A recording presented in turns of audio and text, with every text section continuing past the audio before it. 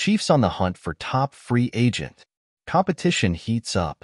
KC Chiefs trade news. Hey Chiefs fans, welcome back to the channel. Today, we've got some exciting news about potential moves to strengthen our offensive line.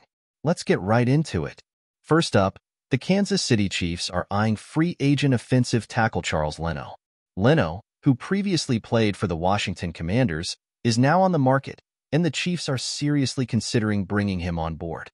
You might be wondering why Leno was released if he was performing well. The Commanders let him go to save cap space, even though he finished last season with an impressive 72.5 PFF grade. This guy has solid performance written all over him.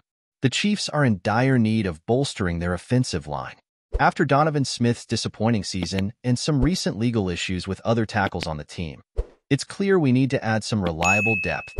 Now, Leno did undergo hip surgery, but the good news is he's expected to make a full recovery.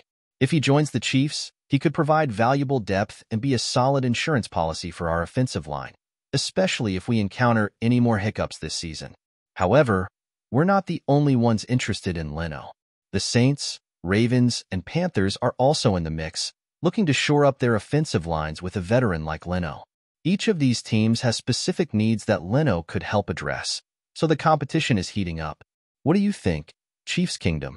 Would Charles Leno be a good fit for our offensive line? Drop your thoughts in the comments below. Thanks for watching. Be sure to hit that like button, subscribe for more Chiefs updates, and ring the bell so you never miss a video. Stay tuned, and as always, keep cheering for the Chiefs.